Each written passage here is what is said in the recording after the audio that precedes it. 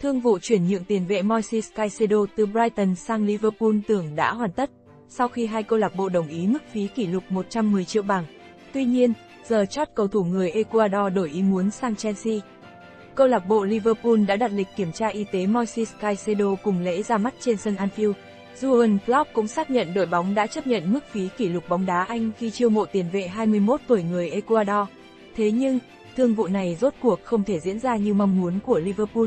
Moises Caicedo, lật kèo, cùng nhóm cố vấn của mình ở lại London, Anh, trong ngày 11 tháng 8 để đàm phán với câu lạc bộ. Chelsea, Moises Caicedo trước đó đã có những thỏa thuận cá nhân với Chelsea.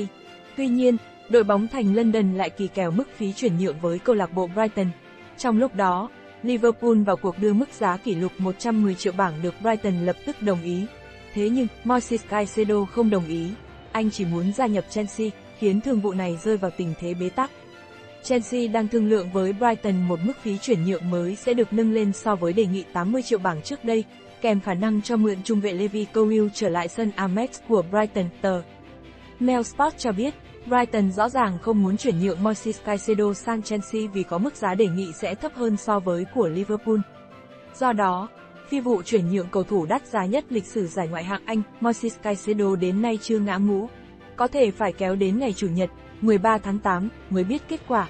Câu lạc bộ Liverpool nhiều khả năng sẽ rời bỏ thương vụ sau sự lật kèo của cầu thủ, tờ Mail Sport cho biết thêm. Đáng kể, ngay cuối tuần này Liverpool gặp Chelsea lúc 22 giờ 30 ngày 13 tháng 8.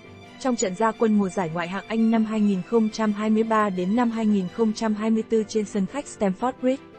Bên cạnh cuộc đàm phán, giật Moises Caicedo khỏi tay Liverpool, Chelsea còn sắp chiêu mộ tiền vệ Romeo Lavia từ Southampton với mức phí 55 triệu bảng. Chelsea đã rút lui khỏi thương vụ mua tiền vệ người Mỹ Tyler Adam để tập trung vào mua Caicedo và Lavia. Nếu thành công đây sẽ là lần thứ hai chỉ trong hơn 6 tháng qua, Chelsea phá kỷ lục chi tiêu mua sắm của mình, sau vụ mua tiền vệ Enzo Fernandez từ Benfica với giá 106,8 triệu bảng.